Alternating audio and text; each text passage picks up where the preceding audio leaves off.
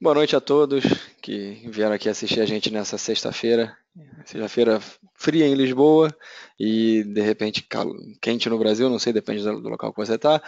É, hoje a gente tem aqui o Etienne, o Etienne Lopes aqui de, de Portugal, que vai, vai fazer uma apresentação sobre a SQL 2016, sobre algumas das, das novas funcionalidades que, que, que, já foram apresentadas. É, queria agradecer ele aqui pela disponibilidade, é, também dizer que essa sessão vai ser gravada, e se vocês quiserem depois rever ou passar para alguém que não teve oportunidade de assistir, que, que, que vocês vão ter isso disponível é, talvez em alguns dias, ok? Então é isso, sem mais delongas aqui, vou passar aqui a palavra para o Etienne. Se vocês tiverem dúvidas, podem escrever aqui no, nas questões que eu vou vendo e passo para o Etienne depois. E é isso, Etienne, é contigo aí. Ok, então uh, boa noite a todos. Eu vou aqui, uh, se calhar, tentar reduzir isto aqui um bocadinho. Portanto, aqui. Uh, boa noite a todos, uh, bem-vindos uh, a mais um evento Luso Brasileiro sobre SQL Server. Um, eu, como o Murilo disse, vou falar acerca de algumas novidades que surgiram em segurança no SQL Server 2016 e também, como ele disse, Portanto, o meu nome é Etienne Lopes, eu sou DBA da SQL Server na Oramix, uma empresa portuguesa, e trabalho com SQL Server desde 97, desde a versão 6.5 até agora a versão 2016, ligeiramente melhor. sou também com muito gosto membro da comunidade portuguesa da SQL Server e, e portanto, este é o meu contacto no LinkedIn. Uh, já agora aproveito também para dizer que uh, se vocês forem lá, eu, eu coloquei lá um post há uns dias um, com exatamente, portanto, um link para a sessão do SQL Saturday 485 que, que teve lugar aqui em Portugal e onde estão todas as demonstrações de Transact SQL que eu vou fazer aqui hoje. Portanto, se vocês forem lá a esse post, vão ter acesso depois uh, no link que eu lá coloquei, na minha sessão, que lá está, de uh, Security Enhancements uh, em SQL Server 2016. Está lá, portanto, todas as demonstrações que eu vou fazer aqui hoje. Vocês podem fazer download e, e se, se acharem interessante, e, portanto, podem, podem usar. Okay? Ora, um, uma das novidades que eu venho aqui falar hoje e que irá ocupar eh, a quase totalidade da, da, da sessão é designada por Always Encrypted, não é? E, portanto, e, basicamente eh, surge numa boa altura, diria eu, no advento da cloud, e portanto para quem estiver preocupado em ter os seus dados mais sensíveis armazenados numa base de dados na cloud, eh, de facto esta funcionalidade pode ajudar a garantir que, neste caso o cloud provider, não consegue compreender os dados mais sensíveis porque existe a possibilidade de, através desta funcionalidade, esses dados estarem cifrados do lado dele, mas não estarem cifrados do lado da aplicação. Isso é uma funcionalidade muito interessante, surgiu em 2006 e é muito interessante. De resto, é, isto não se coloca apenas com a questão da cloud, mesmo que seja on-premises, portanto é perfeitamente possível e viável que uh, uma empresa tenha um fornecedor de bases de dados, uh, mesmo que seja on-premises, mas que prefira garantir que alguns dados, como sejam números de conta, passwords, eh, números de identificação fiscal, etc., fiquem eh, cifrados para, eh, digamos, aos olhos desse, desse fornecedor, é? e que nem os próprios DBAs consigam ter acesso, portanto, a compreender essa informação, porque quando olham para ela, ela está sempre cifrada. Okay? A outra funcionalidade que nós vamos falar aqui hoje é designada por Dynamic Data Masking, que é também uma funcionalidade muito interessante, perdão, e que na prática, como o nome indica, consiste em, em poder colocar uma máscara sobre os dados uh, e de forma a que os utilizadores uh, não tenham acesso total a esses dados. Eu, eu coloco aqui este exemplo, um, já me aconteceu a mim várias vezes, já deve ter acontecido se calhar a todos vocês, imaginem que fazem uma encomenda e alguém do lado lá para verificar, digamos assim, eh, a autenticidade de quem está a fazer essa mesma encomenda, coloca-lhe, por exemplo, a questão, olha, será que me pode confirmar os últimos três eh, dígitos do seu número de telefone? A questão que se coloca é, eles que estão do lado de lá, os operadores que estão do lado de lá, fazendo-nos esta pergunta, eles estão a olhar para o número de telefone completo ou eles próprios de facto só conseguem ver esses últimos três dígitos. Portanto, eh, aqui neste caso eh, surge a possibilidade no 2016 de implementar esta funcionalidade ao nível do próprio SQL Server de uma forma muito, muito simples e, e portanto acaba por ser uma funcionalidade muito interessante também.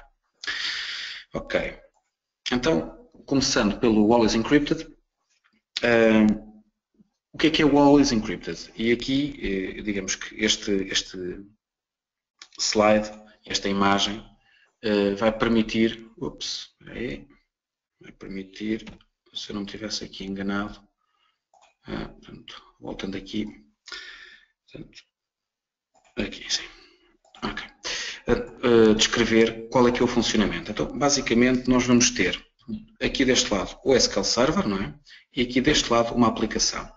O que acontece é que os dados, vamos admitir, são colocados na aplicação e são enviados para o SQL Server. Porém, ainda do lado da aplicação, os dados vão ser aqui assim encriptados, recorrendo a ADO.NET, portanto a uma, a uma library do ADO.NET, que vai ser responsável por encriptar esses dados de forma que quando eles passam para aqui já vêm encriptados, ok? Se nós repararmos aqui na imagem, temos neste caso o Social Security Number, já está encriptado, ou seja, aquilo que é visto, aquilo que é visível do lado do, do servidor são os dados encriptados.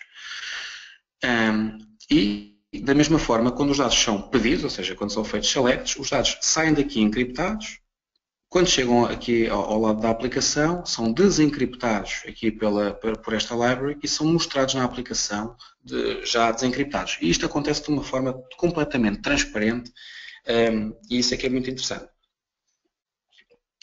E existem aqui duas peças fundamentais, naturalmente, para além do, do, da library propriamente dita, que é responsável por fazer a encriptação e desencriptação destes dados, mas existem aqui duas peças fundamentais para eh, assegurar este processo. Uma delas é esta, designada por Column Master Key, e a outra é esta aqui, designada por Column Encryption Key. Desculpem.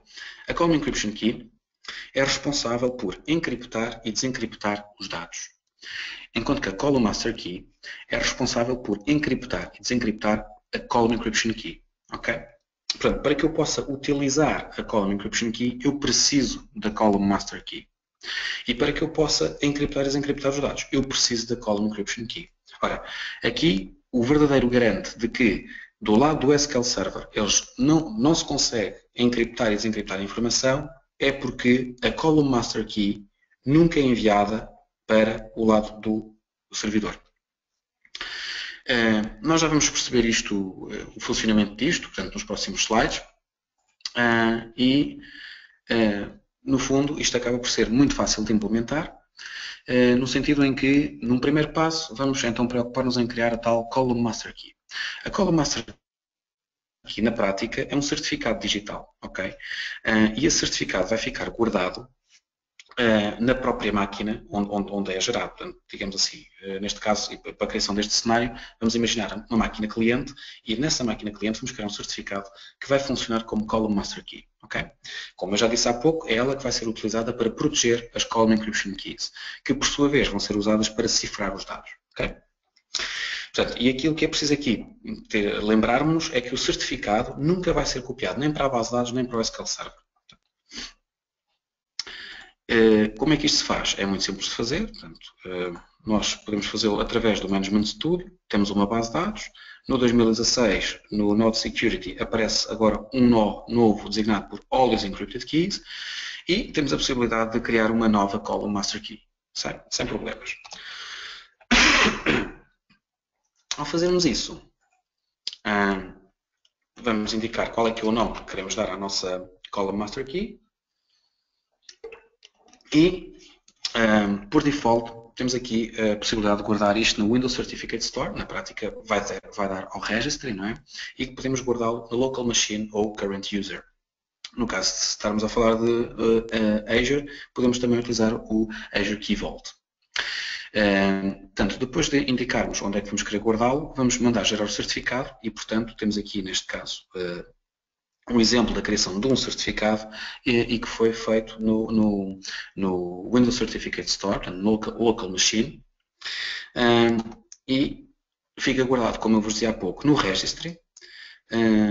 Portanto, isto aqui, digamos, é o local no registry onde ele fica guardado. Este é o thumbprint um, e, portanto, fica aqui guardado o certificado. Fica guardado aqui no registry da máquina cliente. Este certificado, repito, nunca vai passar para o servidor. Esse é que é, de resto, o garante de que uh, este método eh, não permite que a informação seja desencriptada do lado do servidor. Se por algum motivo este certificado fosse passado para o servidor, então comprometeria essa segurança. Okay?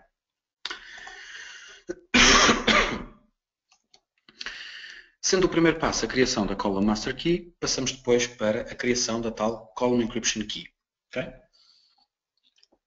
Ela vai ser criada e encriptada e, uh, digamos que depois disso é feito o upload da chave, mas já encriptada, para o servidor da SQL. Como é que isso é feito? Mais uma vez, portanto, é muito simples. Chegamos aqui assim, através do Management Studio. Neste caso, já tínhamos aqui então a nossa Column Master Key criada. Pedimos para criar em seguida uma New Column Encryption Key, que, por sua vez, aqui assim indicamos então, ok, qual é que é uh, o nome que lhe queremos dar e qual é que é a column master key que vai ser utilizada para encriptar e desencriptar esta column encryption key. E depois disso feito, temos aqui nossa, as nossas column master key e column encryption key e estamos preparados, digamos assim, para passar para a fase seguinte. Okay? Ups, só andar aqui para cima. Uma coisa que é preciso lembrarmos é que para que o Always Encrypted possa funcionar é necessário uh, instalar a .NET Framework 4.6, pelo menos, mas uh, é, é, aconselhável que seja instalada a, a Framework.NET 4.6.1. Okay? Porque é só a partir daí que existe suporte em .NET para uh, que as aplicações possam implementar o Always Encrypted. Portanto, esse é um primeiro aspecto a termos a linha de conta. As aplicações têm que estar em .NET e têm que estar compiladas uh, na versão uh, eh, 4.6 ou, idealmente, na versão 4.6.1. Ok. Neste caso, eu para efeitos de demonstração criei uma aplicação em .NET, uh, Windows Forms, e conforme podem ver, portanto, temos aqui a framework utilizada foi a 4.6.1. Posto isto, e porque o tempo é curto, vamos então passar rapidamente para a parte das demonstrações. Okay? Eh, eu vou procurar responder aqui a uma série de perguntas com, com estas demonstrações que vou fazer em seguida e vou começar por, vamos dar então uma olhadela nas definições da Column Master Key e da Column Encryption Key. Eu não sei se neste momento se existe alguma dúvida, se querem colocar alguma questão, se está ok. Will? Tá ok, tá ok, tá ok aqui. Ninguém, por enquanto. Ok. Tá bom, sim senhor. Então, vamos continuar. um, e portanto, vamos então numa primeira fase. Esta já lá vamos, não é? Não vamos já aqui. Vamos então começar. Portanto, aquilo que eu há pouco fiz, uh, criando uh, ou aquela demonstração através de, nas imagens da, da criação da Column Master Key, da Column Encryption Key, através do Management Studio, na prática vai gerar este código que está aqui para diz respeito à Column Master Key. Ou seja, uh, nós vamos dar-lhe um nome, certo? Uh, não esquecer que ele, vai gerar um certificado. Okay? A única coisa que vai ser guardada no servidor da SQL, ao nível das tablas, é apenas qual é que é o Keystore Provider Name e qual é que é o seu key path, ou seja, o local onde é suposto nas máquinas cliente, ela está guardada. Na prática, o que acontece é que quando uma aplicação solicitar dados de uma coluna que esteja always encrypted, esta informação irá uh, do SQL Server junto com os dados, portanto, isto no fundo são os metadados que irão junto com os dados e vai chegar do lado de lá e vai dizer, olha, a master key era suposto estar aqui neste local, vê lá se está, e caso esteja ele vai pegar nela e vai utilizá-la para desencriptar a Column Encryption Key. O código para a Column Encryption Key, que é guardado no servidor, é este, ou seja, conforme podemos ver, ele indica qual é que é a sua Column Master Key e que tem o seu valor, mas o seu valor está encriptado. Ou seja, ele isto está do lado do SQL Server, está do lado do servidor, mas está de facto encriptado. Seria necessário ter a Column Master Key para poder desencriptá-lo. E a Column Master Key, em termos do seu certificado, está guardada apenas na máquina cliente ou nas máquinas clientes. Okay? Portanto, qual é que é a sintaxe que nós temos para construir colunas encriptadas numa tabela? E já agora, o Always Encrypted é, é, é feito ao nível das colunas. Portanto, ele não é feito ao nível de toda a base de dados, como acontece com o TDE, ele não é feito ao nível das células, como acontece com o Cell Level Encryption, ele é feito a nível de uma coluna. Portanto, o que nós podemos uh, designar uh, ao nível do Always Encrypted é eu quero encriptar esta ou estas colunas numa determinada tabela. Okay? Vamos então ver uh, que sintaxe é que podemos utilizar. Na realidade é, é muito simples.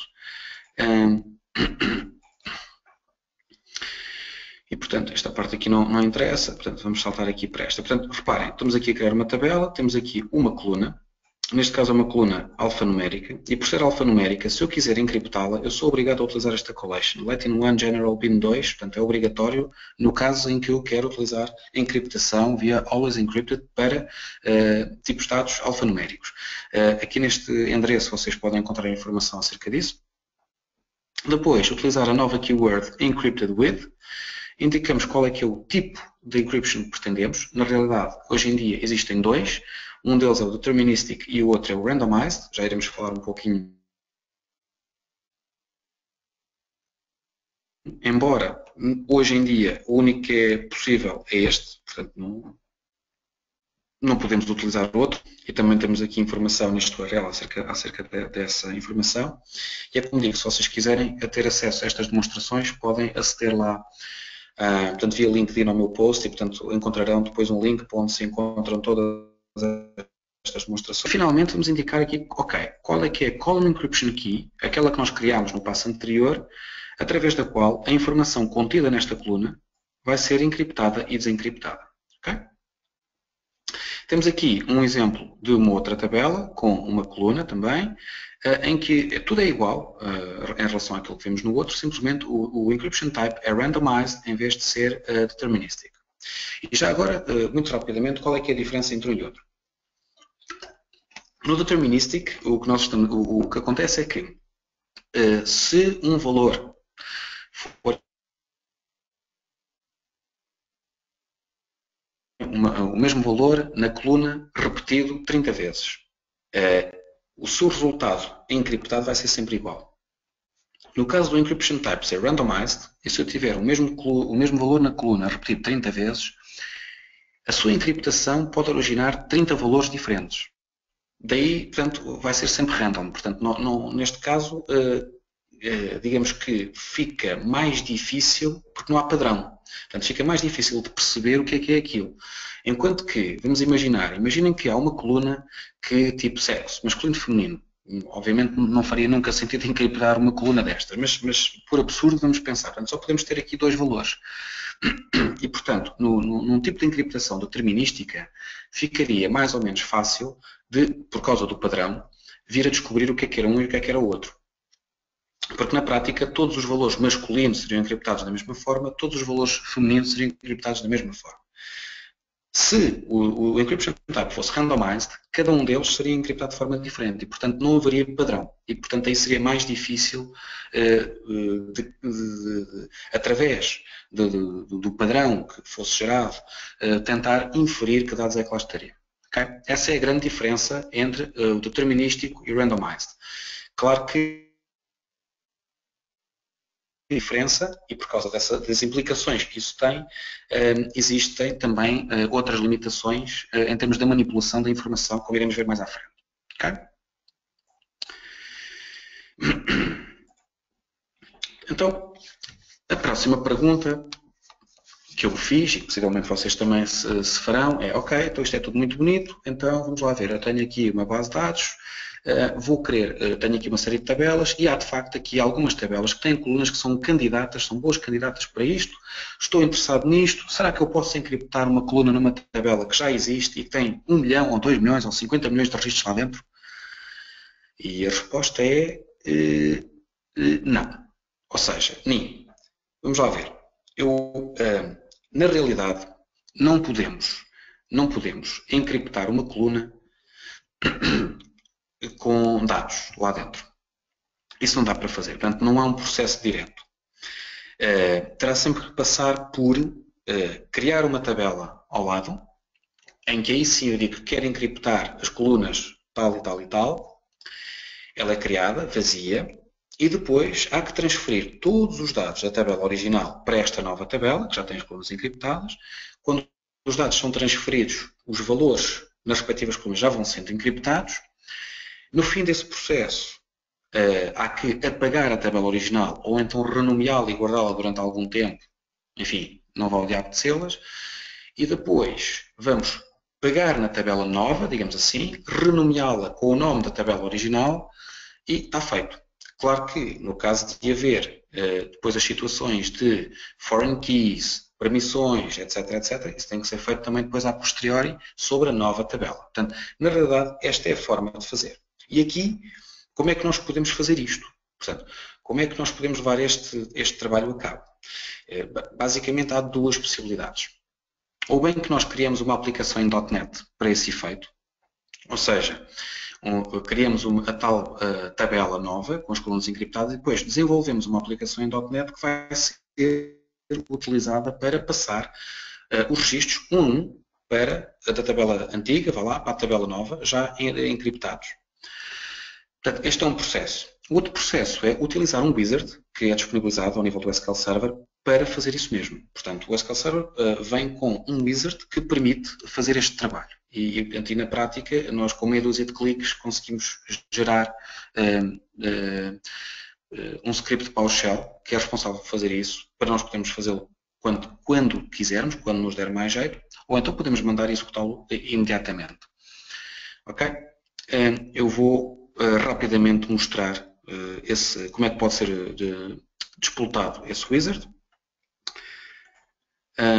portanto, vimos aqui, vamos à tabela perdão, à base de dados pretendida.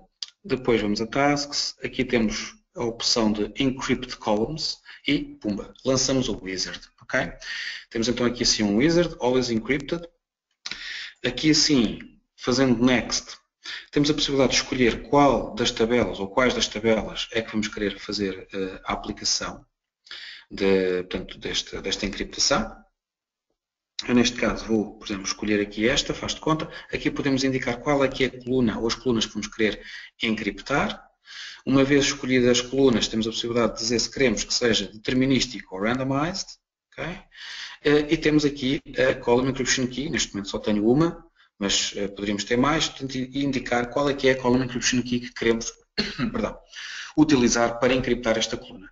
A partir daí seria next, next, next e no final eh, teríamos a possibilidade de dizer quer executar isto já, ou então quer gerar o tal script PowerShell para poder executar isto uh, em qualquer momento e quantas vezes eu quiser. Okay?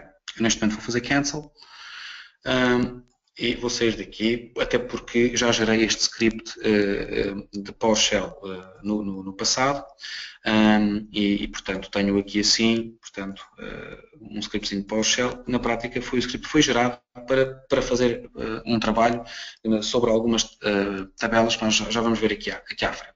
Okay? E portanto temos estas duas possibilidades. Claro que se eu vos perguntar qual delas é que é preferível, preferem usar o Wizard ou preferem usar a aplicação? Há vantagens e desvantagens uh, em cada uma delas, como é natural.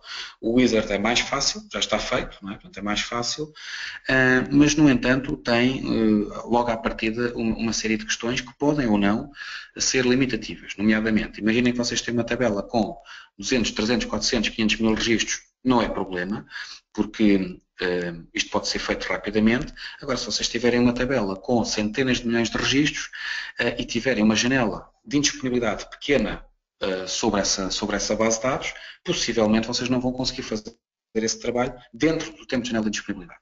E aí então coloca-se uma questão. Porquê? Porque o Wizard, quando faz, faz tudo. Portanto, faz tudo ou nada. Não faz de forma faseada. Ele ou pega e vai fazer isto para toda, para toda a tabela, para a tabela inteira, ou então não, não, não dá para fazer.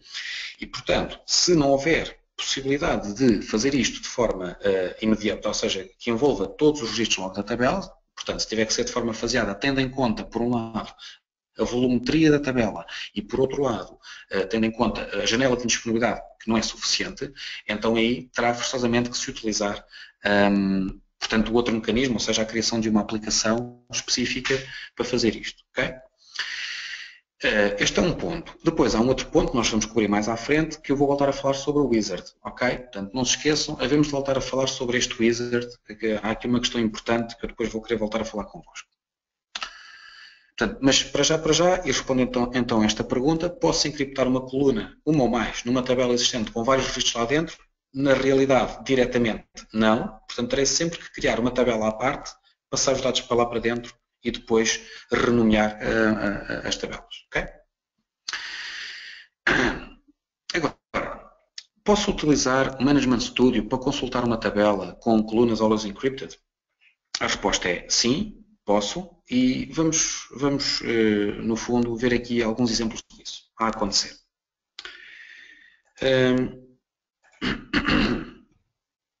nesse sentido, portanto, eu vou abrir aqui assim. E há aqui um aspecto que é importante que é eh, quando eh, nós estabelecemos uma ligação normal, portanto uma connection normal eh, via Management Studio e quando tentamos aceder, como é aqui o caso, vamos tentar aceder a duas tabelas que têm colunas encriptadas, foi aquelas que eu vos mostrei há bocado, na realidade o que acontece é que vamos ver os dados encriptados. ok? Portanto, vamos chegar aqui assim, vou mostrar, e se vocês repararem aqui, o Customer Key está encriptado. Uh, e também está encriptado esta, esta outra customer key desta tabela. Portanto, isto são, nós vemos os valores encriptados. Isto é o que acontece normalmente. Outro aspecto que eu quero chamar a vossa atenção é que, apesar disto ser um Management Studio, eu estou aqui na máquina que eu chamei de Dev underscore SQL Server 2016, ou seja, máquina de desenvolvimento. Ou seja, na prática, eu não tenho o servidor de SQL nesta máquina. Não, esta é a máquina cliente. A única coisa que eu instalei aqui foi o Management Studio, mas o servidor de SQL não está nesta máquina. Ele está numa outra máquina, okay, que é esta aqui. Portanto, aqui é que está o servidor de SQL propriamente dito e não nesta.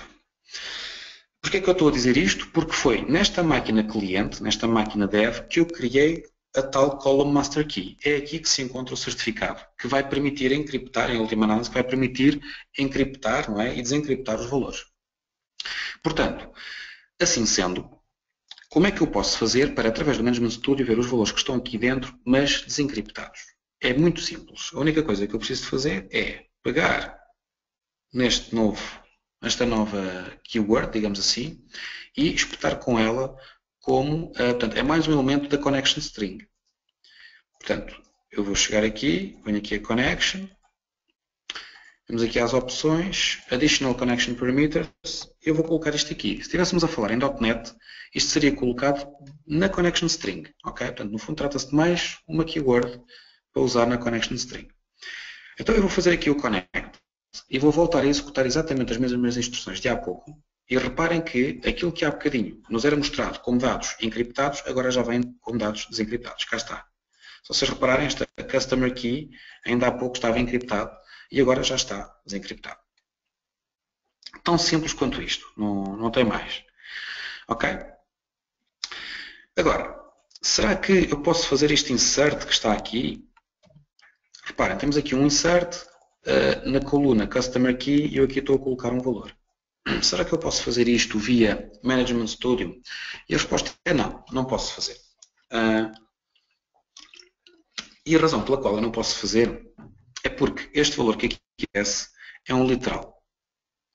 E sendo um literal, uh, ele, ele não ser uh, encriptado através do Management Studio. Ou seja, na realidade, para que os valores possam ser encriptados, valores que não residam já na tabela, como é aqui o caso. Neste caso foi desencriptado porque os valores, toda a informação que era, à qual era necessário aceder já estava presente na tabela. Enquanto que neste caso aqui não. Este valor não está presente na tabela. Neste momento ele é um literal que há de vir a ser colocado dentro da tabela. E para isso ele precisa de ser encriptado antes de ser colocado na tabela. Isto tem que ser feito através de uma aplicação .NET e uh, o valor tem que ser colocado num SQL parameter. Portanto, esse é um aspecto e no fundo, se vocês se lembrarem, há pouco eu falava-vos na criação de uma aplicação .NET para encriptar os, os, registros um a um, portanto no fundo passa por isto. Tem que ser utilizado o namespace uh, SQL Client, portanto as classes estão dentro do SQL Client e nomeadamente todos os valores têm que ser incluídos dentro de um SQL parameter para que o processo de encriptação uh, e desencriptação possa ser levada a cabo pelo ADO.NET, ok? Portanto, se eu tentar fazer isto que está aqui via Management Studio, vai dar erro, basicamente, ok? É o que acontece. Não é bug, é mesmo, é mesmo assim. Agora, eu vou pegar nestas instruções que estão aqui e vou tentar executá-las do lado uh, do servidor de SQL. Vamos ver o que é que acontece. Portanto, aqui eu estava na máquina cliente, apesar de estar a usar o Management Studio, mas é cliente, e vamos agora passar para o servidor. Do lado do servidor, vamos então tentar executar isto que aqui está. Primeiramente, vou assegurar-me de que uh, a minha connection string não tem nada de adicional, não tem, então vamos executar isto. Perdão. Cá está. Vamos ver os dados. Os dados estão encriptados. Isto, no fundo, é aquilo que, do lado do servidor, é possível ver. Dados encriptados. Vamos ver o que é que acontece se optarmos aqui a nossa connection string. Vamos colocar aqui, vamos fazer connect. E o que é que vai acontecer? Será que vamos ver os dados desencriptados como há pouco? O que acontece é isto. Reparem, na prática, aquilo que ele diz, entre outras coisas, é? mas aquilo que ele diz é que, olha, eu não consigo, eu não consigo encontrar o certificado, ou seja, o certificado que corresponde à, à column master key, eu não consigo encontrá-lo aqui. E depois, de facto, não consigo. Porquê? Porque ele está aí na máquina cliente, não está aqui. E como tal, como não está aqui, não é possível encontrar a column master key, ou seja, não é possível aceder ao certificado que permitiria desencriptar a column encryption key, que por sua vez iria permitir desencriptar os dados. Na prática, é isto que ele está a dizer. E, portanto, eh, este é o mecanismo que precisamente garante que quem está do lado do servidor não consegue ter acesso aos dados desencriptados. Ok? Só quem estiver na máquina cliente.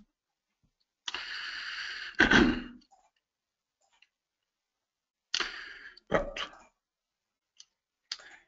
Próxima questão. Será que é possível utilizar o Bulk Copy Program com Always Encrypted? Uh, a resposta é sim, é possível utilizar. O BCP é uma aplicação que uh, é muito eficiente uh, em termos de transferência de dados de e para portanto, tabelas. utiliza, no fundo, é uma aplicação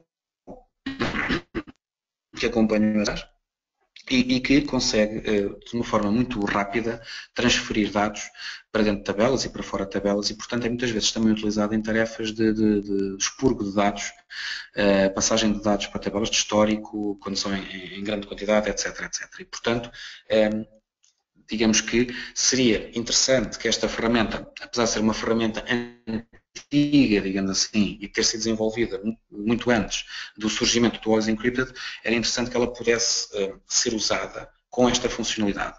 E, de facto, é possível. Eu vou mostrar-vos como é que isso pode ser feito. Okay? E vou mostrar-vos, reparem, eh, há aqui um aspecto que é importante, temos em conta, que é, uh, neste caso, nós vamos passar os dados para um fecheiro de texto e depois novamente para uma tabela encriptados. Os dados vão, passar, vão sair encriptados para dentro de um fecheiro de texto e depois vão passar na mesma encriptados para dentro de uma nova tabela. Okay? Uh, e, portanto, eu vou fazer esta demonstração a partir do próprio, do próprio servidor da SQL. Porque não há necessidade de desencriptar nada, nem de encriptar. Ok. Portanto, eu vou começar por aqui permitir a utilização do XP CMD Shell, portanto uma coisa perfeitamente tranquila, não é? Portanto não, não, tem, não tem nenhuma brecha na segurança, tranquilo. É só para facilitar aqui a demonstração. Embora esta primeira questão eu vá fazê-la a partir da linha de comandos nós. A primeira coisa que eu vou começar aqui por fazer é a criação de um formato file. Para quem está habituado a usar o BCP, isto é uma coisa perfeitamente natural e normal. Para quem não está habituado a, usar o BCP, um formato file no fundo é aquilo que me vai definir em termos de metadados qual é que é eh, a, estrutura da tabela. Okay? Portanto, se eu vou exportar o conteúdo de uma tabela para fora, o formato file, no fundo, aquilo que vai ter é qual é que é a estrutura dessa tabela. Ou seja, quais é que são os campos, qual é que é o tipo de dados dos campos, qual é que é a posição em que eles se encontram. Portanto, no fundo, vai facilitar os dados quando são os seus uh, tipos de dados nativos. Portanto, não é necessário estar a fazer aqui uh, uh, conversões de tipos de dados. Ok? e eu vou então mandar executar isto a partir da linha de comandos de DOS. Porque ele vai me fazer aqui umas perguntas, é? mas eu vou dizer que, portanto, vou utilizar, vou dar enter em todo lado, portanto, vou usar os valores de default em todo lado, eu vou só mostrar, ele vai gerar este fecheiro para dentro desta pastinha, que neste momento ainda está vazia. Quando eu agora aqui vier dar enter, ok.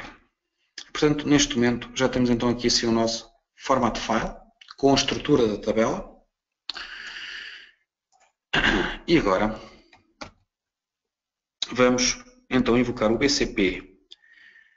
Reparem, dizemos que queremos passar o conteúdo desta tabela, chamada TB2B Encrypted, embora ela, eh, o nome seja TB2B Encrypted, mas ela já está uh, encriptada. Depois colocamos aqui out, portanto, vamos passar isto posterior, ou seja, para um fecheiro de texto, utilizando o formato file que acabamos de criar. Aqui estou a dar qual é que é o servidor ao qual vou ligar e vou dizer que vou uh, uh, usar Windows Authentication. Portanto, neste caso vou usar o meu login e o meu login é sysadmin. E vamos a isto. Vamos no fundo exportar. Cá está, já foi, portanto 100 rows, portanto, esta tabela só tem 100 rows e exportou assim numa fração de segundo e se olharmos para aqui temos então o nosso formato file e temos também o nosso uh, fecheiro de texto com o conteúdo daquela tabela. Agora, nós vamos criar uh, uma tabela de história, de histórico, para receber esta informação. Portanto, temos aqui, portanto, isto no fundo para simular uma situação precisamente em que nós quiséssemos, por exemplo, passar para histórico o conteúdo de uma tabela, não é? Claro que naturalmente teria mais do que 100 registros. Isto aqui foi só para... Pronto. E agora, finalmente, vamos, estamos então em condições de importar. Portanto, no fundo, o que é que eu vou aqui fazer?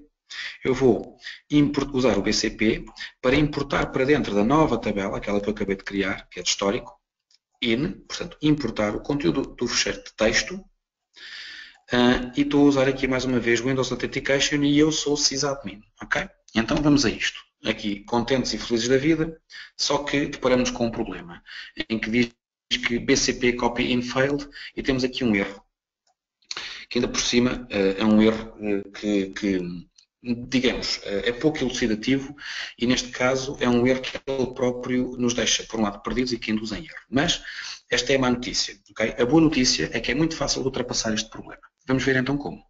Okay.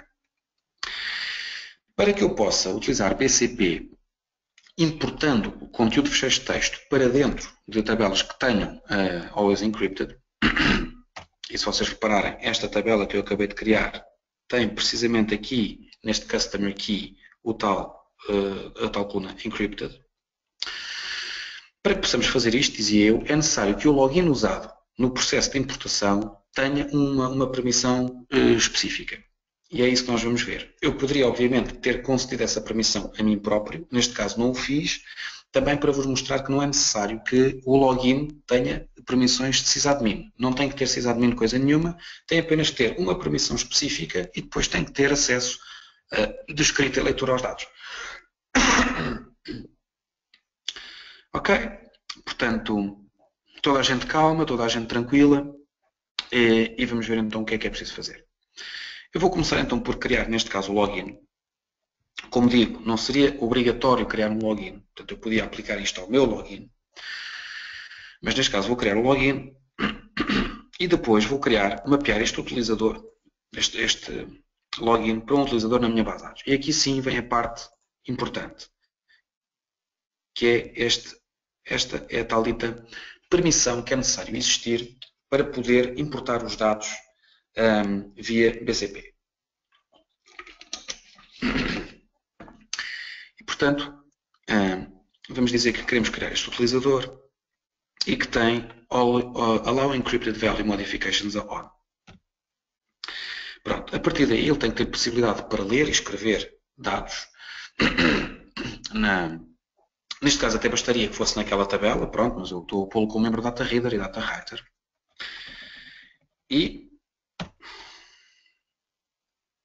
vamos agora, reparem, utilizando as credenciais desse utilizador, já não estou a usar as minhas, já não é o menos T, portanto já não é Windows Authentication, neste caso é utilizando as credenciais deste utilizador que eu acabei de criar, vamos então procurar importar este ficheiro para dentro da minha tabela nova. Aquela instrução que há bocado falhou comigo, vamos agora tentar usar com as credenciais deste utilizador. E, bingo, temos aqui 100 rows copied. Correu bem, vamos ver então o conteúdo da tabela original, aquela de onde partiram os registros. Ok? Vamos ver agora o conteúdo da tabela nova, aquela que nós criámos, que é a tabela de histórico.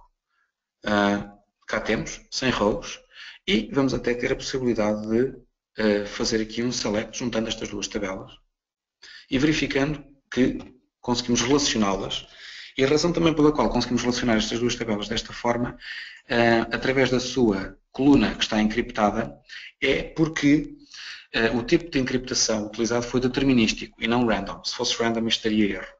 Ok? E, portanto, desta forma conseguimos uh, perceber que é fácil utilizarmos o BCP uh, à mesma com uh, este tipo de encriptação.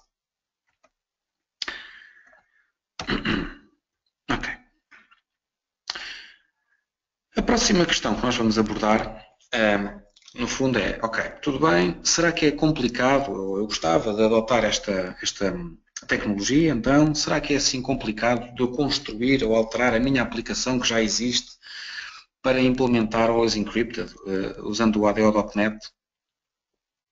Bem, a, a, resposta a esta pergunta é assim, se construir não, não é, não é minimamente difícil, porque se eu for construí-la já vou ter em, em, linha de conta todos os pressupostos e já vou preencher todos os requisitos que, que é necessário e, e de facto é fácil, portanto não tem dificuldade nenhuma. Agora, se for para alterar uma aplicação existente, uh, aquilo que eu posso dizer é que, enfim, a Microsoft preocupou-se em, em, em, que, dentro do possível, fosse fácil que, que, esta alteração fosse feita. Mas vai depender de um conjunto de aspectos. Desde logo, a aplicação tem que estar desenvolvida em ADO.NET, desculpa, em, em .NET. Portanto, logo aí é uma, é uma situação. Depois, não, não, não pode ser num .NET qualquer, tem que ser num .NET na versão 4.6 ou posterior. O que significa que as aplicações têm que ser compiladas nesta versão da framework. O que pode ou não levantar algumas questões em termos de compatibilidade. Portanto, esse é logo também um ponto uh, a ter em linha de conta. E depois, existe a outra componente que é uh, o que é que é necessário mais para implementar Always Encrypted. Aí não é, não é complicado, eu vou-vos mostrar um pedaço de código que eu fiz na aplicação que daqui a pouco também vamos utilizar para fazer algumas brincadeiras e que na prática é isto que está aqui, isto é um, um pedacinho do código, não é? Mas só para mostrar uma coisa que é, reparem, nós, eh, na prática, como eu dizia há pouco, vamos ter que utilizar eh, portanto, eh, o namespace SQL Client com todas as classes que lá se encontram. Ou seja, vamos ter que utilizar a SQL Connection, o SQL Command e o SQL Parameter.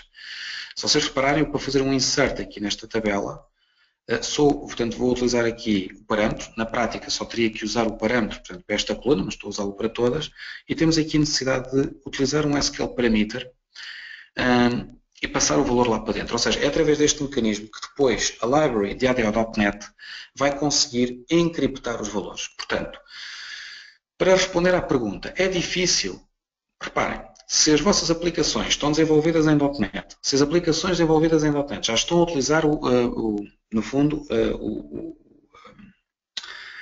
a DLL e, o namespace nativo do SQL Client, se já estão a utilizar queries parametrizadas ou Storage Procedures, e, portanto, já estão a utilizar SQL Parameters, eu diria que é bastante fácil porque nesse caso a única coisa que é necessário fazer praticamente será uh, colocar na connection string aquela keyword que nós vimos há bocado.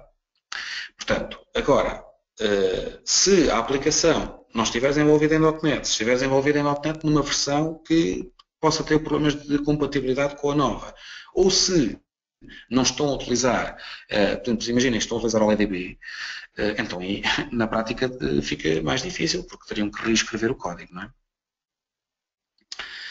Ok. Portanto, hum, indo aqui à, à, próxima, à próxima questão, uh, impacto. Será que existe impacto no desempenho uh, ao usar Always Encrypted? Vamos tentar responder aqui esta pergunta através de uns exemplozinhos. E, nesse sentido, vou voltar aqui assim. E...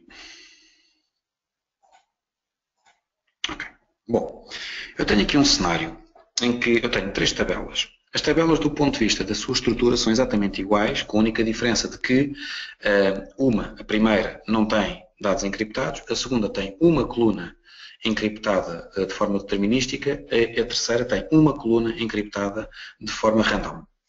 De resto, eh, do ponto de vista daquilo que é os tipos de dados são exatamente iguais e do ponto de vista daquilo que é o seu conteúdo é exatamente igual, ou seja, cada uma tem um milhão de registros.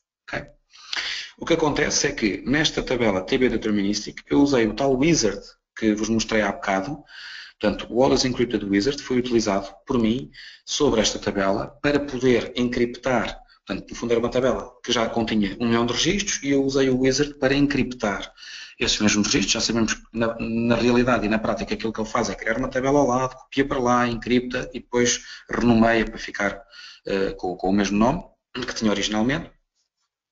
E fiz a mesma coisa nesta randomize, ou seja, utilizei novamente o wizard para, um, sobre esta tabela, encriptar um milhão de registros. Este é o nosso cenário. A partir daqui, nós vamos então fazer algum, algum trabalho e vamos tentar perceber uh, qual é que é, uh, digamos assim, o, o impacto de performance que pode haver. Antes de mais, eu vou apenas garantir que, neste momento, não temos... Ok, vou tirar isto aqui. Vou fazer aqui o connect. Portanto, ou seja, situação normal, em que não estamos a desencriptar, e vou começar por limpar portanto, o drop clean buffers, não é? portanto, vou, vou, limpar os dados da cache. Isto para quê? Para provocar que os dados venham, um, ehm, venham da, do disco para nós termos uma melhor noção em termos de impacto uh, num caso e no outro. Portanto. Vamos então fazer aqui um count asterisco da, da tabela que não tem colunas encriptadas. E vamos ver quanto tempo é que isto demora para trazer Uh, essa contagem. Okay? Portanto, ele está a carregar as páginas para a memória não é? e demorou cerca de 7 segundos, cerca não, demorou 7 segundos para trazer esse milhão de registros e para dar a contagem de 1 milhão de registros. Ok. Agora, eu vou fazer a mesma, exatamente a mesma operação sobre esta tabela TB Deterministic que tem o mesmo 1 milhão de registros. E o que, e o que acontece, e é que eu recordo e lembro que eu limpei, uh, portanto, antes de fazer estas operações, eu limpei uh, a cache, portanto, os dados quer num caso, quer no outro, estão a vir de disco, mas reparem que neste caso não estamos a demorar nem 7 segundos, nem 14, já vai em 15, mas também não vai ficar pelos 15. Isto vai demorar mais de um minuto, mais de um minuto para trazer uh, este count asterisco, enquanto que o outro demorou apenas 7 segundos. Uh, o que, eh, o, que é, o que é interessante. Eh, eu, eu, depois não vou fazer isso sobre a, sobre a do random, eh, mas seria a mesma coisa. Portanto, iria demorar também cerca de um minuto e meio para trazer este count asterisco, quando a outra demorou 7 segundos. Eu confesso-vos que quando fiz isto, eu fiz isto várias vezes. Ou seja, portanto, eu, eu, eu depois criei, utilizei o wizard para criar N tabelas e de todas as vezes que eu, que eu usei, eu verifiquei isto. E, e, portanto, confesso que fiquei um bocadinho preocupado. Uh, um bocadinho preocupado e um bocadinho surpreendido. Fiquei preocupado porque isto é um tempo ridículo, não é? Tendo em conta uh, o que vimos em relação ao outro caso. E fiquei surpreendido porque, na prática, e como vocês viram, eu nem sequer estou a tentar desencriptar os registros. Portanto, uh, eu estou a trazê-los, mas não estou a tentar desencriptá-los. E, do meu ponto de vista, nem sequer seria expectável, não é? Cá está, demorou 1 minuto e 24 em que o outro demorou 7 segundos. Portanto, nem sequer seria expectável que ele demorasse isto. Portanto, tive aqui um bocado a coçar a cabeça, uh, até tentar perceber como é que de diabo isto podia estar a acontecer, o que é que podia estar a provocar isto. Ok? E então, um, uh, no fundo, uh, percebi que se os dados estivessem em memória, a discrepância de tempo era muito menor.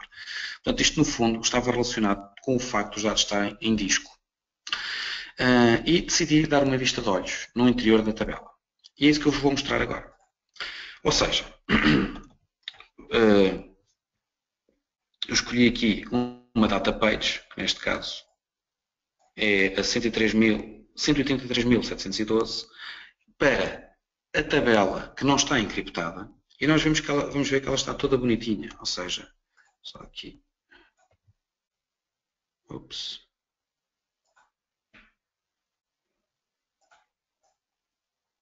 Ok. Vamos ver, portanto está toda bonitinha. Eu se chegar aqui assim, deixo um pouco. Perdão. E reparem que temos aqui a nossa Customer Key, depois o, o Customer Data 1, Customer Data 2 e reparem, Record Type é um Primary Record.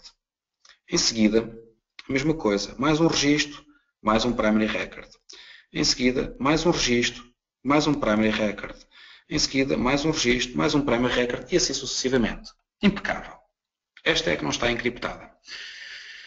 E agora, vamos ver o conteúdo de uma página da tabela uh, que foi encriptada de forma determinística recorrendo ao wizard.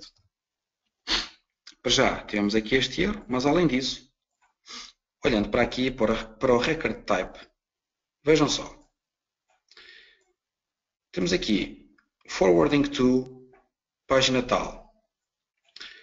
E record type forwarding stub, forwarding stub, forwarding stub, forwarding stub, forwarding stub. E por aí fora. Portanto, o que é que acontece? O que acontece é que todas as data pages estão cheias, completamente cheias de apontadores para outras data pages. E, portanto, isto está cheio de pointers, o que faz com que quando está a ser lida, eh, estes pointers estão a fazer com que isto ande para trás e para a frente e daí demorar, em vez dos 7 segundos, demorar 1 minuto e 24, que foi o que aconteceu aqui.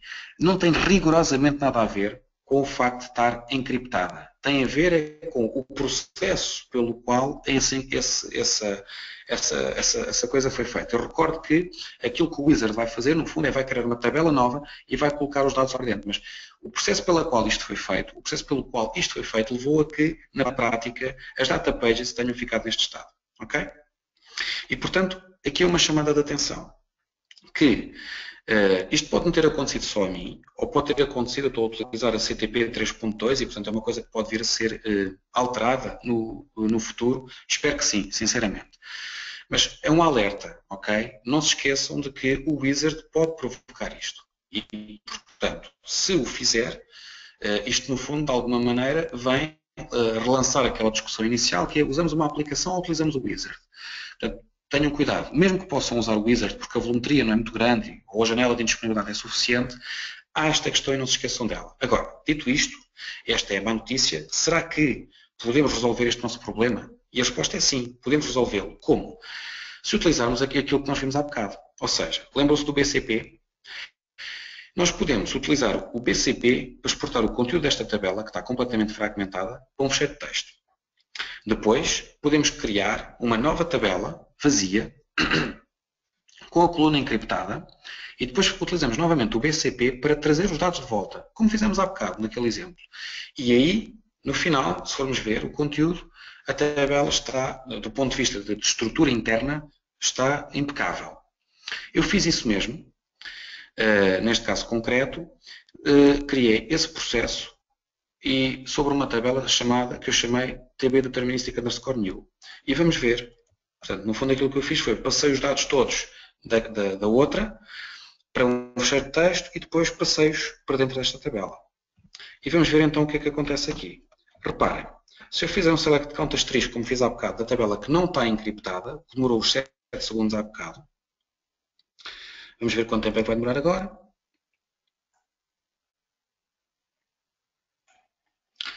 demorou os mesmos 7 segundos. Para aquela que está encriptada, mas sobre a qual já fizemos esta operação, digamos assim, desta maneira, vamos ver agora quanto tempo é que demorou. Portanto, recordo que há bocado demorou qualquer coisa como 1 minuto e 24, não sei se alguns de vocês adormeceram entretanto, durante esse tempo todo. Pronto, esta demorou 7 segundos. Portanto, temos 7 segundos para cada uma delas. Isto era aquilo que eu estaria à espera. Porquê? Porque na prática temos tabelas com mais ou menos o mesmo espaço. É verdade que o espaço usado é ligeiramente superior por causa de estar encriptada, mas não é nada do outro mundo.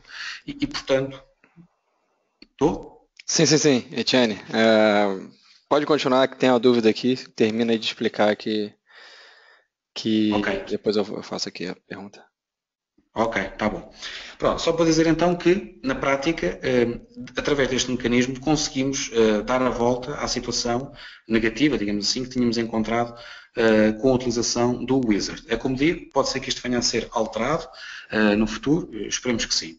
Já agora, pegando em mais alguns, em mais alguns exemplos, e para termos a noção do impacto, portanto, no fundo foi isso que nós começámos por tentar ver, embora até aqui ainda não tivéssemos visto o impacto, estávamos a ver apenas era o impacto da utilização do Wizard e não o impacto do Always Encrypted propriamente dito, vamos então aproveitar para ver aqui alguns exemplos em termos de, do impacto da performance. Portanto, eu vou começar por limpar aqui mais uma vez a cache e vou puxar meio milhão de registros desta tabela que não tem nada encriptado.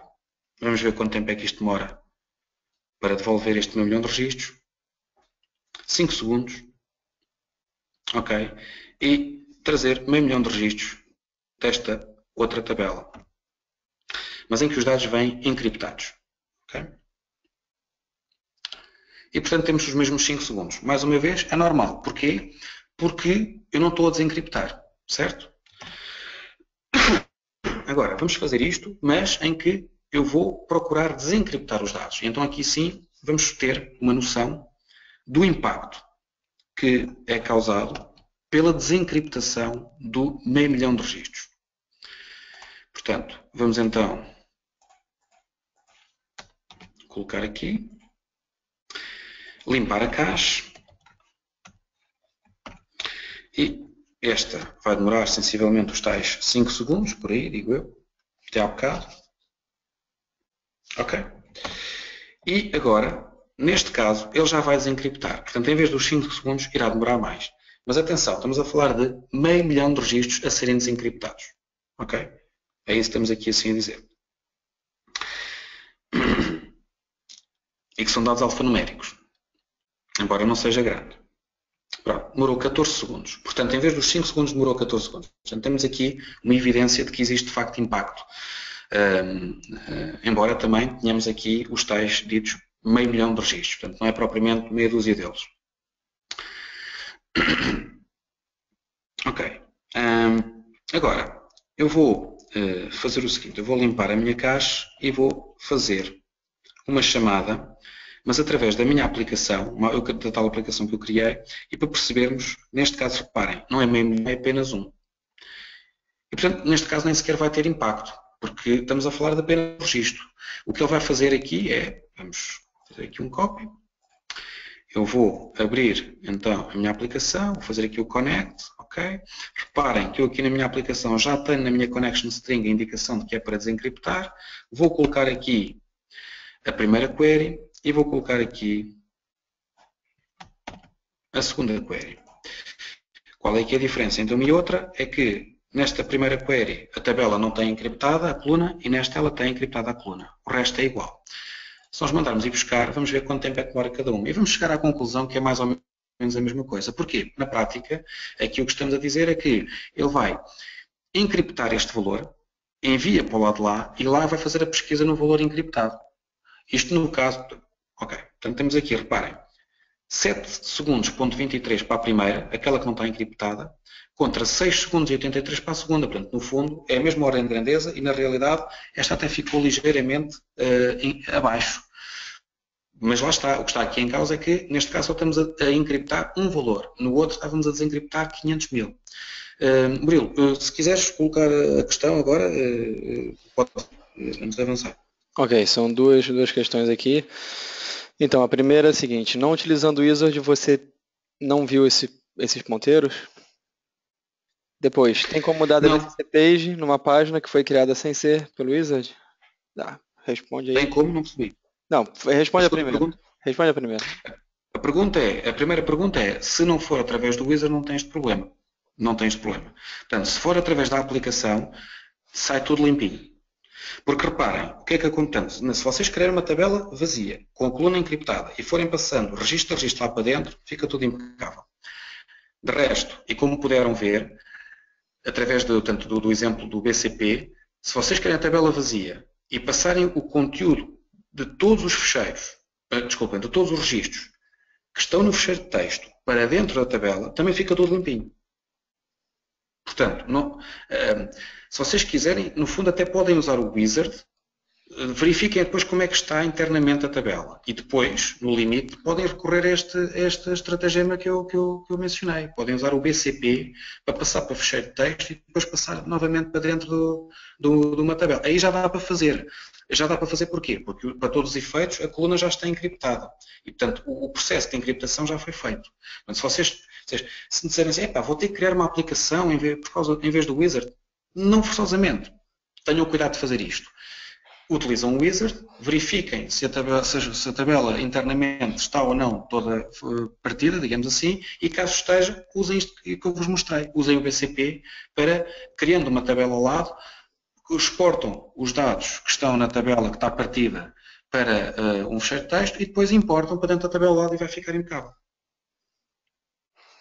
Certo. É, então, tem mais duas perguntas aqui. É, tem como dar o DBCC Page numa página que foi criada sem ser pelo Wizard? tem como usar o DBCC Page numa página que foi Sim, sim, claro. O DBCC Page é um, é um, é um é, não tem nada. O DBCC Page é um undocumented comment que existe há, há muito tempo. Portanto, o DBCC Page, é, aliás, reparem, o DBCC Page eu aqui usei-o em duas tabelas. Uma delas nem sequer estava encriptada. Correto? A primeira, eu vou, eu vou retomar esse exemplo, isto porque uma imagem vale mais do que mil palavras, não é? Então, eu vou, eu vou vos mostrar Aliás, estou, aqui mesmo, não é? Reparem, aqui, neste caso, este DBCC IND, o primeiro está a ser feito sobre a tabela TB Not Encrypted. O que isto me permite aqui, ou o que isto me permitiu, foi ir buscar uma página que eu escolhi. Eu vou, eu vou executar novamente para vocês verem este comando na prática me dá todas as data pages que estão a ser usadas por esta tabela. E depois aquilo que eu fiz foi, reparem, estão a ver aqui uh, 133712. Foi o que eu coloquei aqui, 133712. E então utilizei o DBCC Page. Portanto, o DBCC Page dá-me o conteúdo de uma data page de qualquer tabela uh, e é um comando não documentado do SQL que já é antiquíssimo. Uh, portanto, não está, não está nada relacionado com Always Encrypted. É um é um comando que é útil, nós utilizamos precisamente para podermos ver uh, como é que as nossas databases estão internamente. Ok? Ah, peraí, que está aparecendo coisa aqui, peraí. Certo, na verdade ele estava querendo ver um DBCC page de uma página que foi importada sem ser pelo Wizard para ver se os ponteiros estão lá. Entendeu? É mais ou menos uma. Se foi uma pergunta nível 500 aqui. é, dá perfeitamente, dá perfeitamente. É, é, dá perfeitamente. É, esta foi, é o que acontece com esta, com esta que está aqui, com esta Deterministic New, mas vamos fazer exatamente isso. Vamos fazer aqui uma demonstração então ao vivo e, e, e a cores, não é? Portanto, na prática eu vou copiar isto que está aqui, vou passar para aqui e vou fazer assim e aqui vou colocar o nome desta tabela. Reparem. Esta TB Deterministic underscore New foi a tal que eu criei vazia e que depois recebeu os dados via uh, BCP. Ok? Portanto, vamos fazer. Vamos escolher agora aqui, por exemplo, a 476.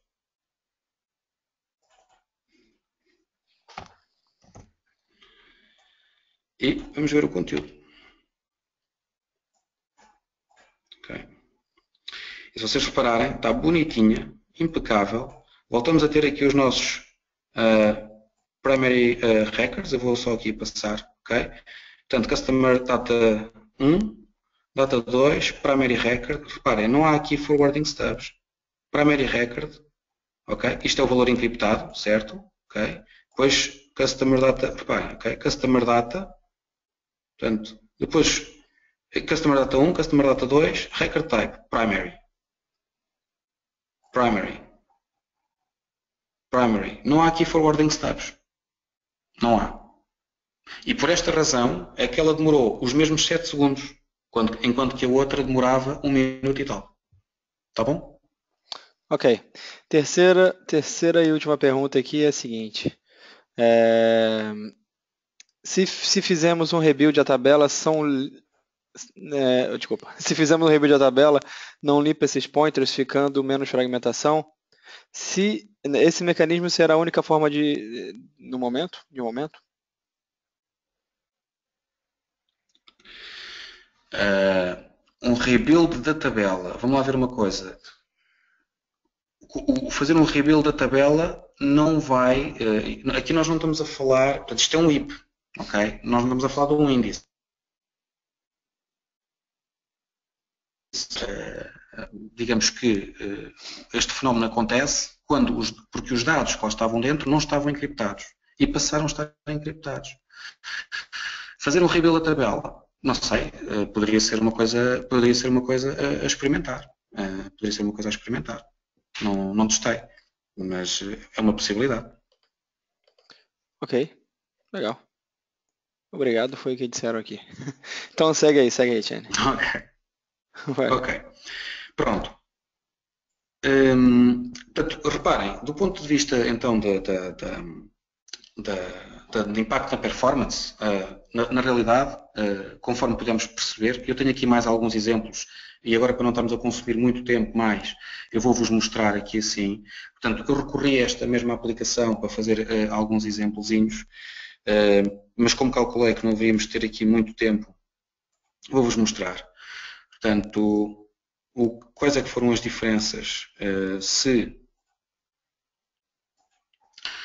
Reparem, através da aplicação eu fiz aqui, portanto, a inserção de, portanto, temos aqui dados para o primeiro campo, este é aquilo que vai ser encriptado, segundo campo da tabela, terceiro campo da tabela, 25 mil records, e coloquei, portanto, fiz aqui para inserir todos os registros. Portanto, ele demorou para inserir 25 mil registros na tabela que está encriptada com determinístico, demorou 34 segundos. Os mesmos 34, sensivelmente, para random. E 34 para a que não está encriptada, ok? Uh, quando eu pedi para fazer isso, mas para 50 mil registros, agora aqui atenção, como é que isto está a ser feito? O insert destes registros está a ser feito um a um, ok? Um a um. Portanto, quando eu pedi para fazer isto, ele demorou. E aqui já se começa a notar então uma diferença. Reparem que nos 25 mil registros praticamente não há diferença em termos de, de performance. Uh, nos 50 mil, nós então temos, encontramos aqui 71 segundos quase 72 para o, para o determinístico, 7108 para o random e 64 para aquele que não está encriptado. Portanto, aqui já começamos a notar alguma diferença, mas é uma degradação na ordem dos 10%, sensivelmente. E uh, fiz para mais, portanto, 75 mil registros, 103 segundos para a, determinística, 102 para a random e 94.67 para aquela que não está encriptada. Mais uma vez, uma degradação na ordem dos 10% e para, perdão, 100 mil registros, 140 segundos para uma, 143 para outra e 129 para outra. Portanto, vamos lá ver, degradação existe, existe, mas não é nada do outro mundo. Agora, é preciso termos em atenção um aspecto, que é o seguinte. Eu aqui nesta tabela só tenho uma coluna encriptada. E a coluna que eu tenho encriptada é um char, sim senhor, mas é um char de 10. É preciso, é, preciso, é preciso, percebermos que o Always Encrypted tem um objetivo. E o objetivo é encriptar informação sensível, como sejam passwords, uh, números de conta, uh, números de segurança social, uh, números de identificação fiscal, que acabam por ser coisas pequenas. Se nós desatarmos a, a, a, a, encriptar nomes de pessoas, moradas, etc., aí é natural que a degradação seja muitíssimo maior. Porquê? Porque estamos a falar de campos tipicamente muitíssimo maiores também. E, e portanto, é, é preciso uh, não, não, não resvalar para essa, para essa no, no fundo, para, para, essa loucura, não é? em que um objetivo, isto não é TDE, nem é suposto ser TDE. Portanto, o objetivo é permitir a encriptação de dados sensíveis e, portanto, não é desatar a encriptar todas as colunas das tabelas. É encriptar as colunas mais sensíveis e, de preferência, portanto, que sejam colunas numéricas ou, ou sendo alfanuméricas, que sejam colunas pequenas, não é? Para que o impacto não seja tão grande assim. Naturalmente, se eu tivesse a fazer isto sobre uma morada, sobre uma morada eh, os tempos que teríamos aqui seriam naturalmente muitíssimo maiores. Ok? Um, relativamente à questão de se podem ser criados índices sobre estas colunas, eu vou mostrar muito rapidamente. Um, portanto, na realidade, depende do tipo de encriptação. Portanto, se for uh, Deterministic Encryption, eu posso criar índices, posso criar chaves primárias, por trás vão criar um índice. Se for, um, se for um, índice direto, mas já agora não posso fazê-lo no random, portanto, eu no random não posso criar primary keys, nem posso criar uh, índices, portanto, logo aí nunca poderia criar primary keys, não é? Portanto, eu só posso criar índices uh, em determinístico, não posso criar índices em random. Isso tem a ver com, esta limitação tem a ver precisamente com o facto de um, o random, cada vez que é encriptado um valor, ele pode ser encriptado de forma diferente. Portanto, não dá para criar índices sobre uma coisa dessas, não é? Um, mas há random, aquela pesquisa que eu há pouco fiz, eu vou recuperá-la novamente. Um, aquela pesquisa que eu há pouco fiz via, isto está aqui, que eu fiz na aplicação, eu não tenho forma de fazer isto sobre uma que esteja encriptada com random. Vai dar erro logo. Eu vou aqui limpar esta, vou limpar esta e vou colocar aqui. Esta tabela foi encriptada à coluna com random. Se eu fizer este select vai dar erro. Porquê? Porque reparem que este valor, uma vez encriptado, ele não vai ser sempre igual. E portanto, o que é que ele vai fazer aqui? Ele vai encriptar este valor para depois enviar para o lado do servidor, para que do lado do servidor seja feita uma pesquisa sobre um valor encriptado. A questão é que não há maneira de saber uh, se, este, se, este, valor que está aqui, uma vez encriptado com random, onde é que iria bater do lado lá. Ou seja, se iria trazer todos os que são A-44, 28, 59. Não. Para que isso possa ser possível, teria que ser com o determinístico. Esse sim garante que todos os valores uh, iguais vão ser encriptados da mesma forma. Tá bom? Portanto, uh, mais uma limitação do randomized. Portanto, o randomized não permite que vocês utilizem nunca qualquer predicado nas queries. Nunca. Só permite que vocês façam coisas deste género, não é? Portanto, assim, sem predicado. É, é uma das limitações que o, que o random tem. Okay? Então, outras limitações que, uh, no fundo, podemos encontrar utilizando always encrypted, cláusula order by. A cláusula order by só é válida se for utilizada com o top. De outra forma, não é válida, não pode ser usada. A cláusula group by só pode ser usada em deterministic. Portanto, um, este select pode ser, funciona sobre uma tabela encriptada de forma determinística, mas não funciona uh, sobre uma tabela em, em, com um campo encriptado random, de uma forma random. Okay? Equality comparisons, ou seja, como vimos há pouco, com um, um where e depois o igual, é suportado em determinístico, mas não é suportado, como vimos também há pouco, no random. Uh, já se forem not equality comparisons, um like, um between, um maior, maior ou igual, maior por aí fora, não pode ser feito em nenhum deles. Okay? Utilização de objetos temporários. Esta é uma que me dá alguma pena. Não está ainda, não é ainda possível fazer. Ou seja, se nós tentarmos fazer isto sobre tabelas temporárias, nós depois não vamos utilizar a informação. Uh, eu inicialmente ainda pensei, ok, isto pode ter a ver com o facto de a column encryption key não estar presente na, na, na TempDB. Então, o que é que eu fiz? Criei na model, uh, portanto, a definição da column encryption key e a definição da column master key. Uh, e fiz a restart ao servidor para que passasse portanto, para, para uh, mas neste momento também não, não, não, não dá para utilizar. E existem algumas outras limitações, para além destas, que eu vos aconselho também a ver, antes de partirem para a implementação, naturalmente, podem encontrar em, em outros sítios, mas também aqui tem neste, neste blog um conjunto de limitações, portanto, e acho que está um apanhado interessante das limitações que existem a este nível. Um, e com isto eu fecharia o meu tema de Always Encrypted, não sei se ainda há tempo para passarmos para o outro tema do Dynamic Data Masking, ou se querem colocar algumas questões. Então, Uh, deixa eu só ver aqui que acho que tem uma questão aqui. Certo, tem aqui uma. É, podemos usar na mesma tabela colunas determinísticas e random? Na mesma tabela, sim. Na mesma coluna, não. Certo, faz sentido, faz sentido. Uh, legal. É isso aí. Foi essa a pergunta. É, okay. Então, pode seguir. Ok.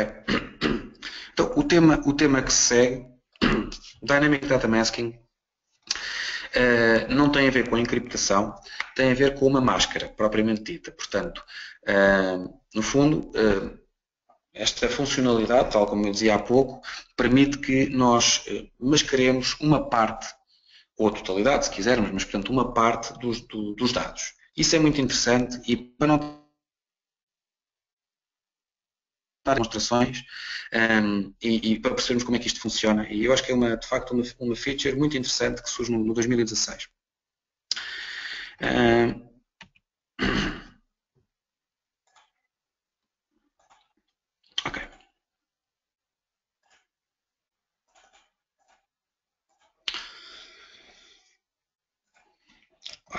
Eu vou aqui criar uma tabela. E se vocês repararem a criação desta tabela, aqui neste campo, algo de novo, não é? E o algo de novo é aqui esta masked with function default. Isto é novidade. Isto, uh, então, é Dynamic Data Masking. Nós podemos dizer que queremos mascarar as colunas e temos várias funções pré-definidas para o fazer. Uma delas é designada por default. Neste caso, ela vai colocar 4x uh, eh, neste, neste campo. Ou seja, uh, a máscara, uh, em vez de eu ver o valor que está no campo, o que eu vou ver são 4x. e esta função de, mas, de, de, de, mascarar default, ela funciona de forma diferente consoante o tipo de dados em, causa. Neste caso, como é um varchar, o que ele vai fazer é vai substituir o seu conteúdo por 4x. Já vamos ver depois uh, outras funções em ação e já vamos também perceber a própria função default, como é que ela funciona em relação a diferentes tipos de dados. Para já, vamos então criar uh, a nossa tabela e vamos inserir aqui um conjunto de registros uh, e a máscara incide sobre o campo uh, name, portanto, eh, temos aqui o Tosé e, e o Alex, é? que deveriam aparecer mascarados. E, portanto, tan, tan, tan, tan, e lá está. Viram? Então, não está mascarado. Ok, bom. Uh, grande desilusão, etc. Não. Isto é normal, ok? Não se assustem para já, portanto, isto para já é normal. O que acontece é que eu sou sysadmin e, como tal, sou database owner. E os dados mascarados aparecerão sempre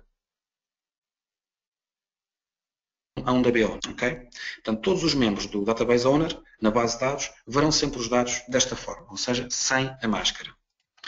Só os utilizadores que não sejam Database Owners é que vão ver os dados com a máscara.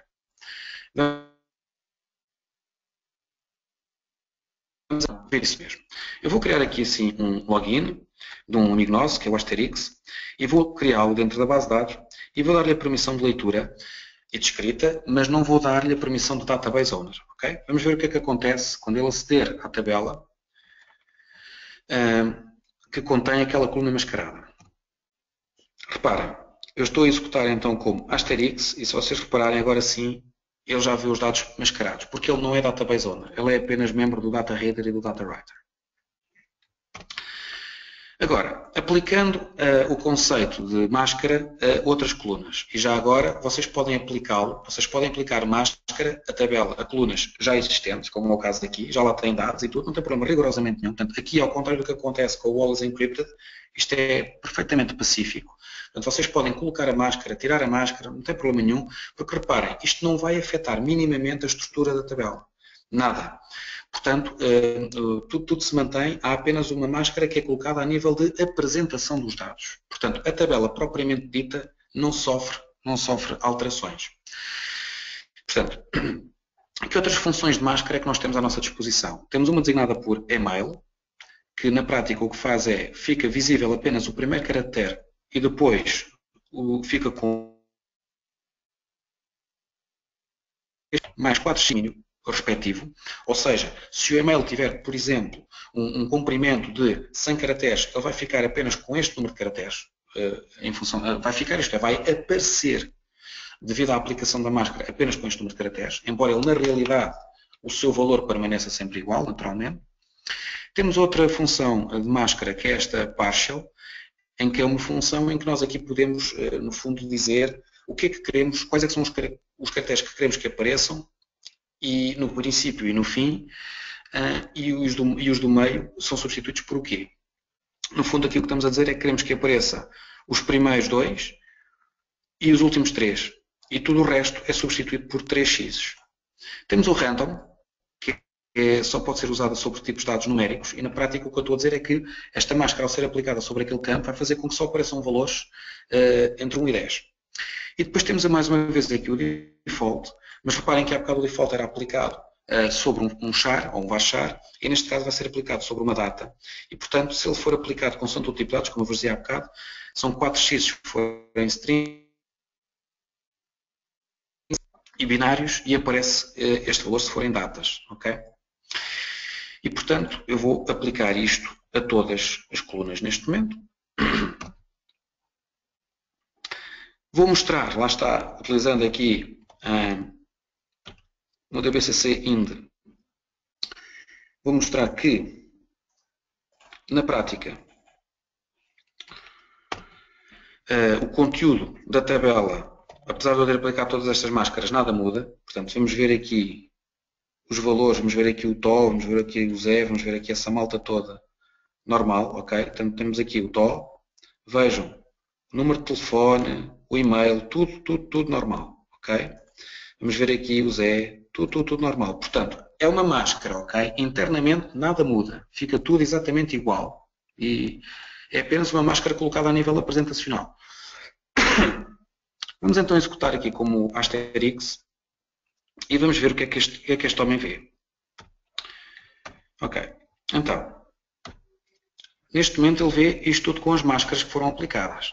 Esta com os X, aqui só vê os dois primeiros números, os dois primeiros números do número de telefone e os últimos três, tal e qual como nós queríamos na máscara, o resto é substituído por X.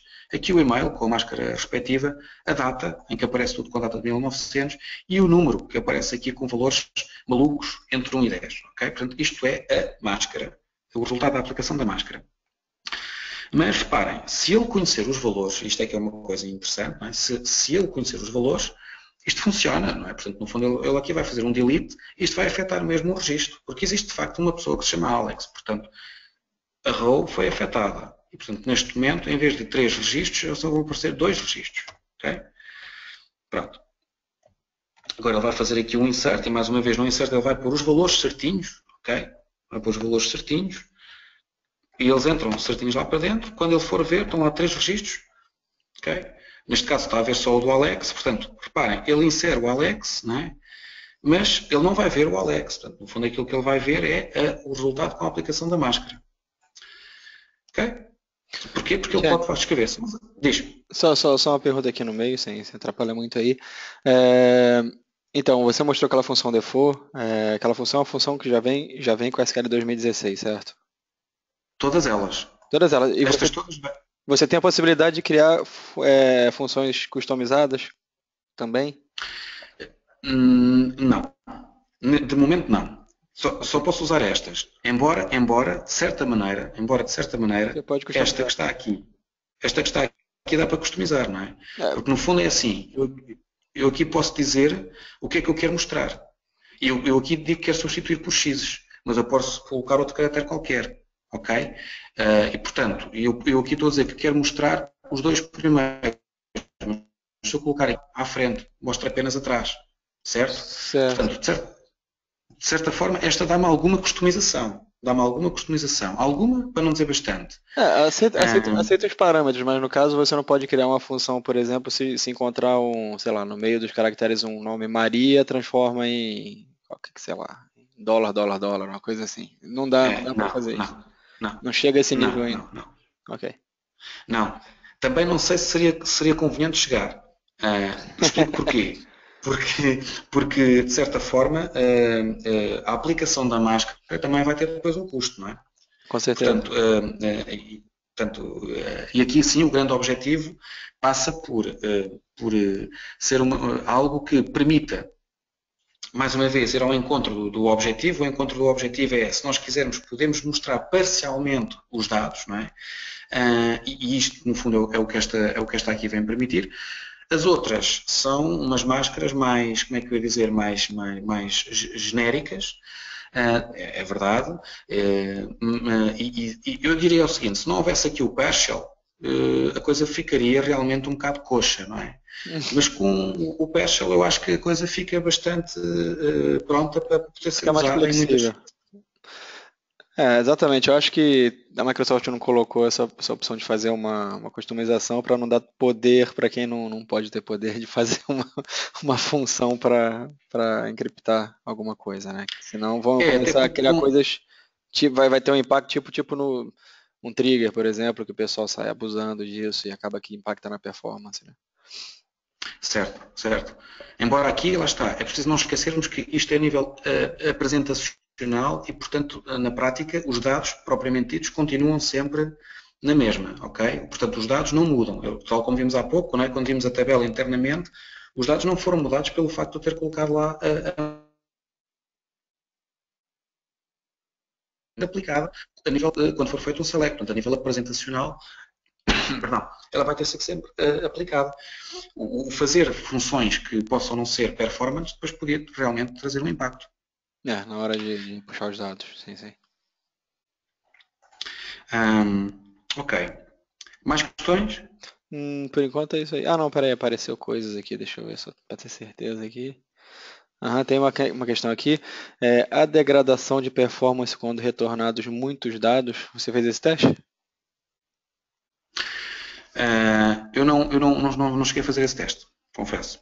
Mas possivelmente deve, deve ter uma degradaçãozinha, mesmo que seja pequena, deve ter, né? Não, é, não, tem, não existe milagre. Acredito, né? acredito, acredito, que sim. Agora, há aqui também um aspecto que é importante, ainda bem que essa questão foi colocada, e, e também me ajuda a explicar porque é que eu não, porque é que eu não fiz esse teste. É, é, uma, é, uma, é, uma, é uma questão que, sendo importante, talvez não seja eh, fulcral.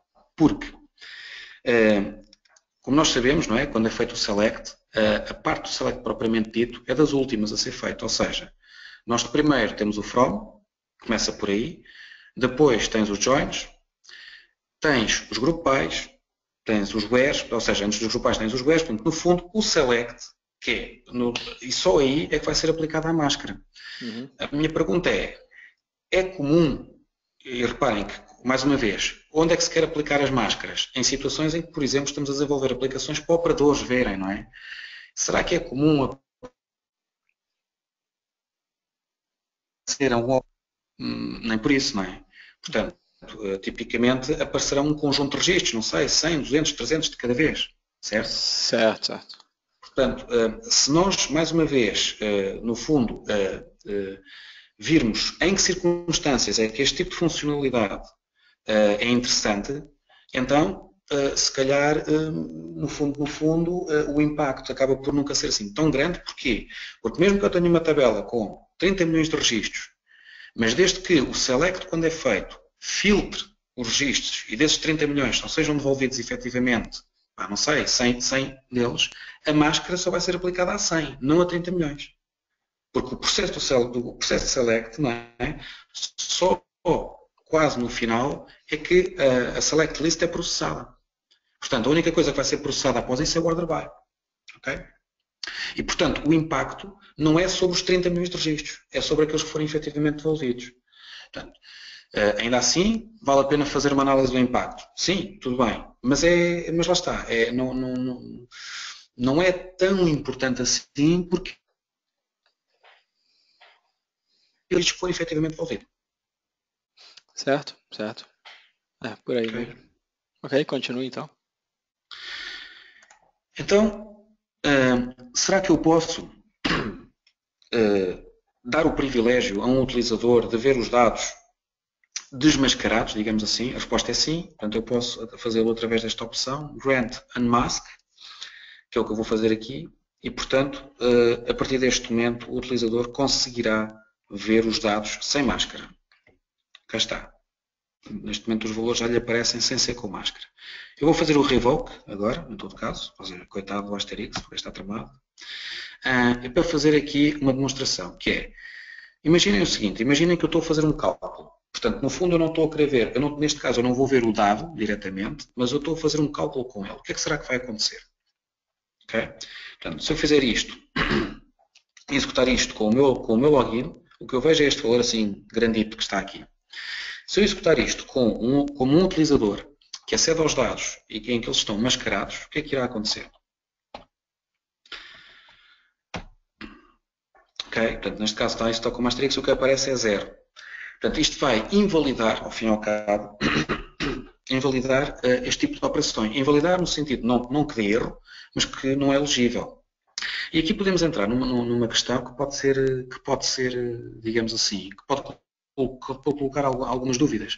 Porque se calhar, é, ou seja, se calhar não faria sentido um, um, um tipo qualquer ver o salário individual de cada, de cada um. É? Mas se calhar, se for para fazer um processamento mensal de, de, de, salários, etc., o que aparece lá é um valor, um bolo grande, não é? Aí já não é um valor individual. E se calhar eu deveria conseguir ver esse valor, eventualmente. Imaginem isso. Como é que nós podemos, como é que nós podemos fazer para não permitir que o utilizador veja os valores individuais, mas que, por exemplo, consiga ter acesso a fazer este tipo de operações, como nós temos aqui. Okay? E, e, e, de facto haverá várias possibilidades. Eu lembro-me desta, que vos, vou, que vos vou mostrar, funciona, e portanto fica aqui a ideia, naturalmente haverá outras, não é? Mas uma, uma, uma forma de fazer seria, por exemplo, eu vou criar aqui um utilizador dentro da minha base de dados, que vai ter exatamente os mesmos privilégios que tem o outro, neste caso o Asterix. Apenas mais um, é que vai ter a possibilidade de ver os dados desmascarados. E, portanto, no fundo, crio o utilizador, coloco nestes dois rolos, mas dou-lhe a permissão de ver os dados desmascarados. Agora o que é que eu faço? Vou criar uma, uma história de procedure em que na prática estou a fazer esse cálculo, que ainda há pouco mostrei, mas em que o contexto de execução vai ser feito com este utilizador que tem a possibilidade de ver os dados desmascarados. Ok? Pumba. E agora vou dar permissão de execução neste SP ao Asterix. Portanto, a partir deste momento, se o Asterix tentar ver os dados através da query, como fez há bocado, ele vai ter azar, não é? Ele vai ter azar, porque vai-lhe aparecer o zero. Porém, se ele chegar a executar a SP, isto vai funcionar.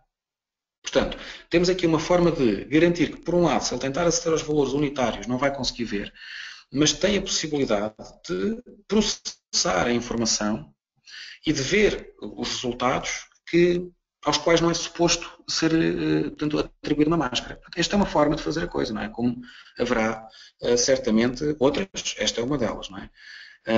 Se, uh, para além de mais, uh, os acessos às bases forem feitos, em vez de recorrer a queries ad hoc, tipicamente já forem feitos utilizando Storage Procedures, como é muito vantajoso, não é? Este tipo de abordagem é, um, é, é uma abordagem que acaba por, por, por, até não dar, por até não dar trabalho.